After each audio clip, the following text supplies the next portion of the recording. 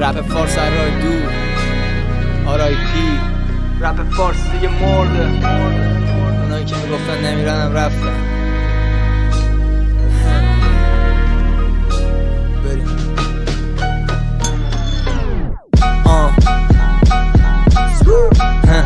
واقعا خندم می‌گیره.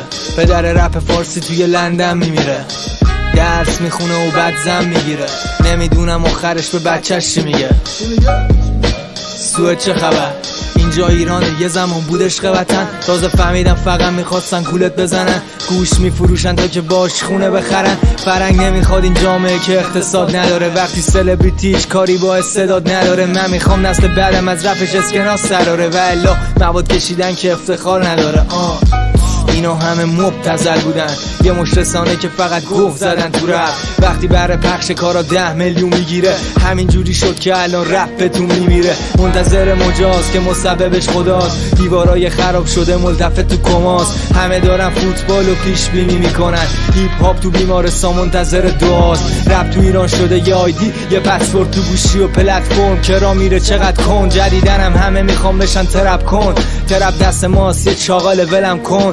طرف میاد میگه تو خیابون به هم دیگه فشتری تو فکر اینه تو مغازش چقدر داره مشتری. مصاحبه می‌کنن تو کافه با سیگار. حرف می‌زنن توی فاز لاتیوار اینجا خیابون تات نیست شاغال. باید خودت در بیاری بابات نیست شاغال. هر کی اینجا واسه خودش قاچاقچیه بچه 15 سال بد زاناکس میده چاغال. رپرامون شبیه شاعرای معاصرن. 99 ممیز 9 درصد مهاجرن.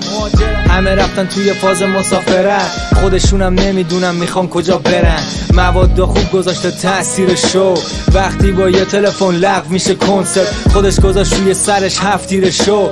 ما شهر کشید و پق رب دیگه مرده. کارای من گنگه ولی هدفم مقدسه. یه جورایی آخراشم از اول مشخصه. آره داشت رب واسه بچه های پایینه. بچه های خیابون و اصل جای ما اینه. پیدا کنی تو خیابون رد پای ما رو. می‌بینی گرفتیم دست بچه های کارو تو هم اگه خواستی بیا هم صدای ما شد و تو آسمون ببینیم تکس تو رو.